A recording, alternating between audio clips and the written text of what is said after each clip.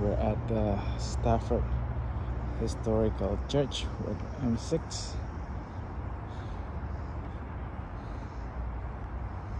It's really nice.